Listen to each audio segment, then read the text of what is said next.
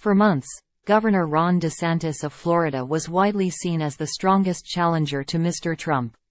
But after a first debate where Mr. DeSantis was largely relegated to the sidelines, his standing in the race has sunk. Recent surveys of Iowa and New Hampshire show that Mr. DeSantis has lost as much as half of his support, falling to third place, or lower. Some of his biggest longtime donors have of late grown reluctant to put more money into a campaign that seems to be headed in the wrong direction. To rebuild his momentum, Mr. DeSantis will need to do more on the debate stage than simply avoid a major misstep. Some strong exchanges, particularly with Mr. Ramaswamy, who is competing for some of the same hard-right voters, could help Mr. DeSantis stem his losses. Mr. Trump, who is under four criminal indictments, skipped the first debate and emerged much as he entered, the overwhelmingly dominant figure in the primary race. His opponents mostly jostled for position among themselves, declining to take significant swings at the frontrunner in absentia. In the post-debate polling, Mr. Trump gained more support than any of the candidates who did appear on the stage. Since then, as his legal cases play out in the courts, Mr. Trump has grown more extreme and violent in his rhetoric. He has suggested General Mark Milley, the chairman of the Joint Chiefs of Staff, should be executed for treason, accused liberal Jews of voting to destroy America and Israel, and seemed to threaten the judges and prosecutors in the felony cases against him. So far, his rivals have not used those attacks to go after the frontrunner as extreme, but with the first ballots to be cast in Iowa in January, time is running out. The Wednesday debate could be among the lower polling candidates' last chances to take aim before a large audience, as the Republican National Committee's criteria to make the next debate stage is expected to become even more strict. It remains to be seen whether the second debate will persuade top donors still on the sidelines to consolidate behind an alternative to Mr. Trump. Rather than attending the debate, Mr. Trump will appear with auto workers in Detroit. Mr.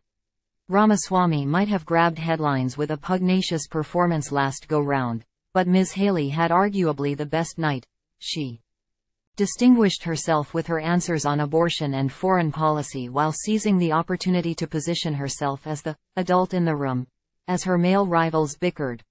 She raised more than $1 million over the 72 hours that followed the event, winning over Republican donors who have been looking for a plausible alternative to Mr. Trump. And she elevated herself over Senator Tim Scott, a fellow South Carolinian, as the next generation conservative who could potentially appeal to independents and some disaffected Democrats, Mr. Scott faded on the stage in Milwaukee.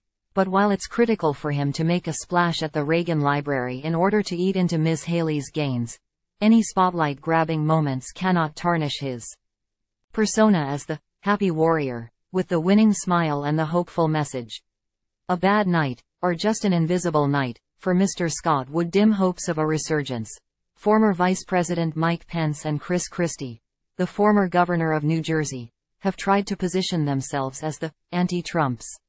Mr. Christie is the loudest castigator of the former president as a threat to the nation, while Mr. Pence has denounced his former running mate as a false conservative, soft on abortion and too populist on trade and foreign policy. Neither argument has gained traction with voters so far, for both men, the debate will be a chance to find an anti-Trump message that actually appeals to Republican voters. Mr. Christie tried to use his trademark slashing style in Milwaukee, only to be booed down by an audience that registered its loyalty to Mr. Trump. The audience Wednesday night could prove to be more sympathetic, or at least more polite, allowing more of the former governor's blows to land. The federal government appears to be barreling toward a shutdown this Sunday, with Congress paralyzed into inaction by a fractured Republican majority in the House that is unable to pass the spending bills needed to keep federal agencies operating past September 30. Complicating House Republican calculations is Mr. Trump, who has demanded that his followers vote against any spending measure that keeps funding the Justice Department's prosecution of him over his efforts to overturn the 2020 election and hide highly classified documents that he took from the White House. It is an impossible request. The seven candidates on the stage will almost certainly be asked their views. Their answers could prove to be a useful counterweight to Mr. Trump's shut it down instruction, or more fuel to drive Republicans toward an economically damaging and politically risky crisis that would dominate headlines for weeks. At the heart of the looming shutdown is a key foreign policy question. Should the United States continue its military aid to Ukrainian forces battling Russia's invading army? The issue has divided Republicans in Congress and on the presidential campaign trail, elevating candidates like Mr. Ramaswamy and, to some extent, Mr. DeSantis, whose tepid support at best for more aid may appeal to isolationist voters who embrace Mr. Trump's America First mantra. Support for Ukraine has become a mark of traditional foreign policy conservatism, embraced most strongly by Mr. Pence and Ms. Haley. Will they stand by their pro-Ukraine positions or bend in the face of Republicans ready to shut down the government to stop any more taxpayer dollars from flowing to Kyiv?